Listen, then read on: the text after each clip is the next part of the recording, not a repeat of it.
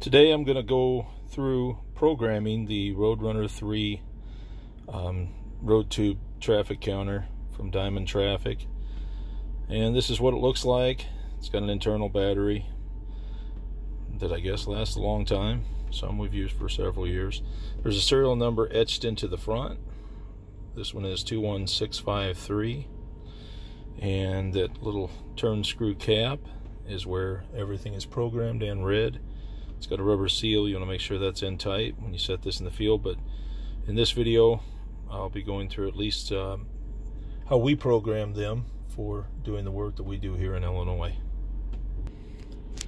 This is the uh, program cable that I believe also comes from Diamond Traffic. It's a USB interface here at the laptop that I'm using and they do have an app for mobile devices that can program these. I've never used it think I have a cable for it, but I've never downloaded the app. And this plug goes in there where I've removed that uh, silver plug. And it does have a notch, so it won't go in incorrectly. There's some pins in there in a circle pattern that you don't want to damage. And that's why you want that tight. When you put this in the field, it might rain. There's two ports. This is a two, two tube system. These tubes need to go exactly four feet apart in the roadway and it's plugged into the PC and ready to uh, program and I'll open the uh, Centurion software. And when the software opens it will automatically start scanning the COM port. And the device does not have any current files on it. That would be the case with a new counter but my counters also after I've done a study I always am sure to clear them out, the data that's in them, and shut them off because I've already got the reports I want. I don't need to leave anything on the counter, get it bogged down, or have it running an active study sitting in my van. When you uh, program a study, right here it says set up and monitor. So you're going to be monitoring traffic. So you'll open that and it'll bring up a dialog in the middle of the screen. Um, right here in the center it says reset unit.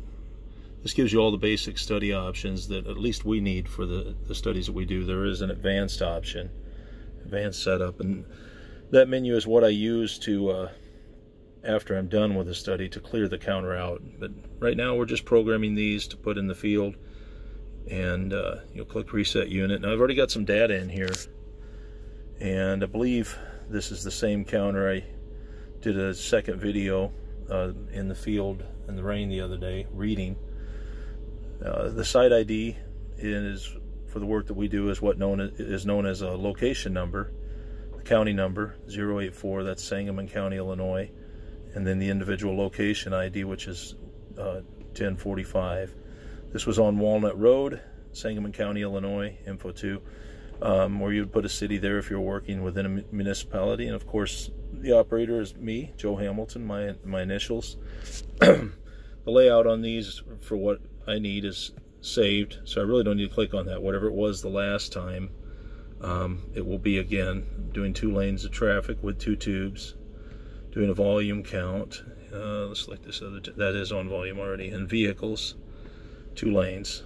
So two lanes on vehicles and two lanes on volume will get me um, the classification count in both directions. Finish that is now if I close this over here it's still setting up says setup. This is a little dialog where the yellow text is. It kind of tells you what it's doing at any given time given time. Once I've entered that program information and I hit X you'll notice it says disconnect device to continue. That's because this counter has started a study and it's ready to go into the field. All right I'm at the back of my vehicle and I won't be actually performing a study on this video. I'm at home. So I'll go over a few things here. This counter has two ports, A and B, and we're doing directional studies. So we need to know which of these tubes is being struck first. And we have working for uh, the Department of Transportation what's called an inventory direction with and against. and so the with direction is the inventory direction. Let's say at a particular lo location that the inventory direction is south. So vehicles going south, actually traveling from north to south, are traveling that inventory direction. And you know the alphabet, AB, it goes AB. So the vehicles traveling south need to cross this counter AB. So anytime south would be the inventory direction, then the first tube would be to the north. It would be the first tube that they strike while they're heading south. Make sure you get that right so when you're doing the reports you can enter those directions and I explain a little bit more of that in the other video. There's two ways that you'll you want to use tubes that are cut the very similar length. You want to use a really long tube, a really short tube. You'll probably get some high truck volumes that actually aren't real, that don't exist.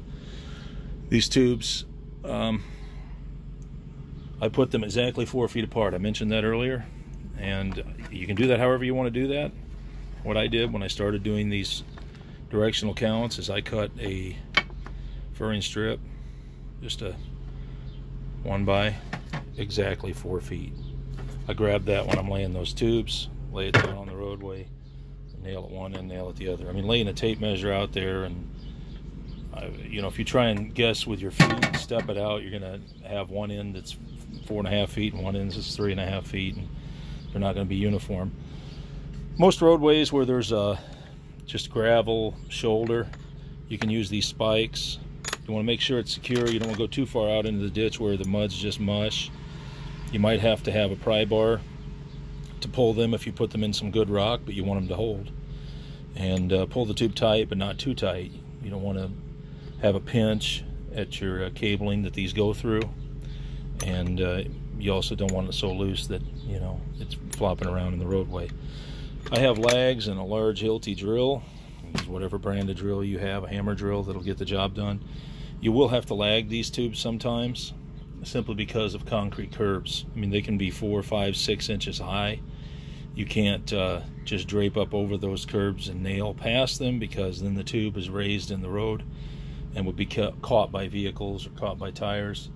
So particularly when you're working in a municipality, sometimes in a neighborhood, in the city, you're going to have to drill these tubes. Anywhere there's just gravel shoulder where it drops off the edge of the pavement, you know, evenly, you can nail them, which is obviously a lot quicker. and then uh, you're going to want to chain this, you know, so it can't get away from you. Be careful what you're chaining to. Don't chain these to a fire hydrant, you know, or something that you should not hook it to, or something that's private, um, private fencing. There's typically always a stop ahead sign, a, a sign that says curve ahead or turn ahead, speed limit sign, um, sometimes a bridge, a small bridge Typically, at one end or the other of the bridge, the guard railing is longer on one side than the other, and I'll place the far end of the tubes across from that, come across, and just chain it to the guard railing so we don't, uh, you know, I mean, if somebody had bolt cutters, I guess we could lose our counter, but it's not just laying in the ditch. You got to watch out for mowing. Good thing is when farmer somebody does come and mow, you're losing ro uh, rubber hose and not the actual counter, you know. Um, but if you're in a section that's a few miles long and you see part of it is mowed, I'd try and find a signpost and put it there. If the grass is, you know, 18 inches high and it looks like somebody's going to continue mowing there the next day, it may not be the best idea to run it through that ditch because tractor will put these into 100 pieces. So I would recommend getting something to put these exactly four feet apart and this thing's ready to go. I'll actually clear it out because I'm at home and I'm not doing a study. But I hope this is helpful.